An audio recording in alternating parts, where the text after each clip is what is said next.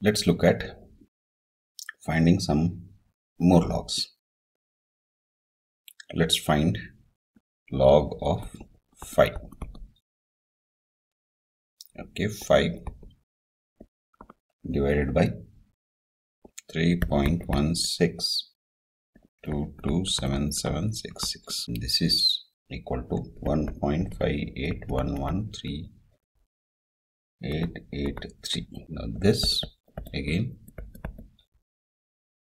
3883 divided by the next number in the 1 to 10 successive roots of 10 successive square roots of 10 so after 1.58 the next 1.33352143 we get 1.1856 8685 now 1.18568685 we divide it by the next available log.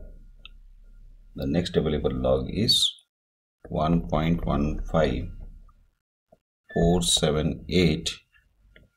198 now this is equal to 1.02676 251 1.0267651 divided by the next available root.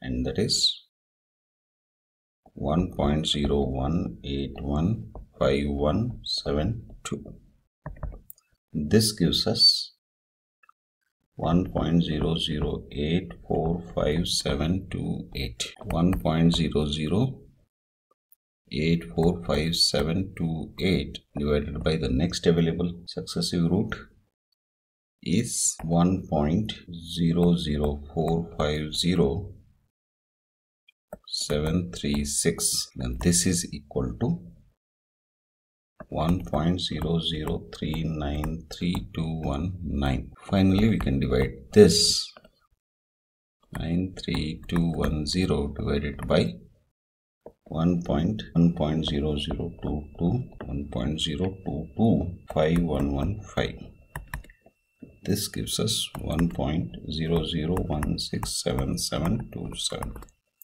okay i think that's the end of the line as far as available roots are concerned. Here i have gone up to 10 successive successive roots of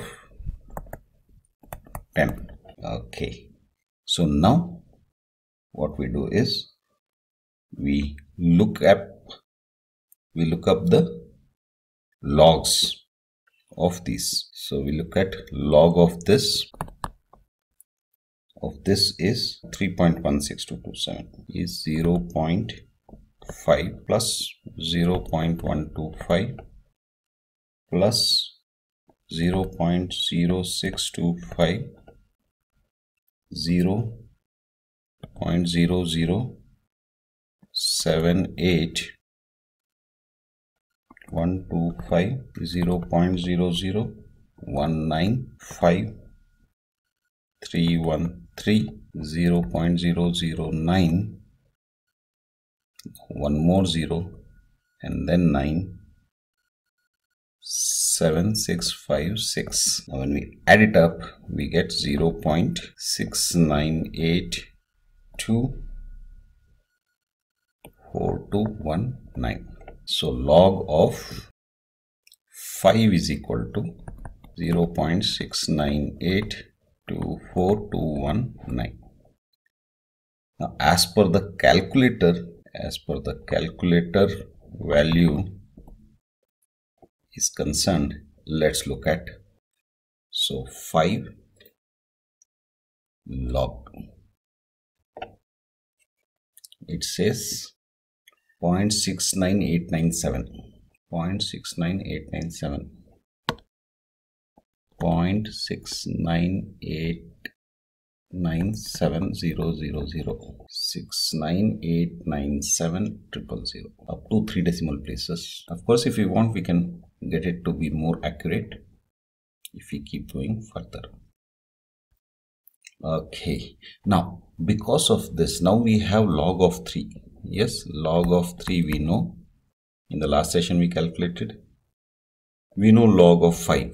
So, log of 5 is as per our calculation 0 0.698242119 log of 3 is now let's go back and just 0.4765 as per our calculation. 0.4765 0.4765 now if we want to restrict ours also to four digits we can do that. Now log of 15 would be what?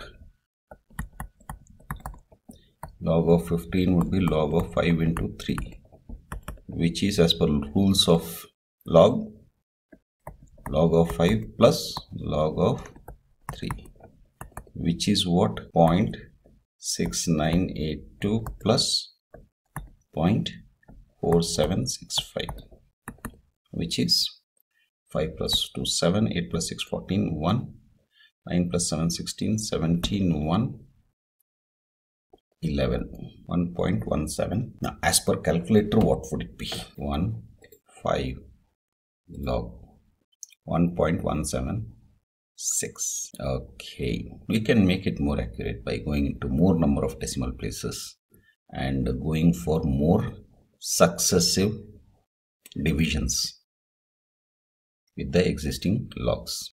By the way we know the rule of primes right? In prime factorization any number any whole number basically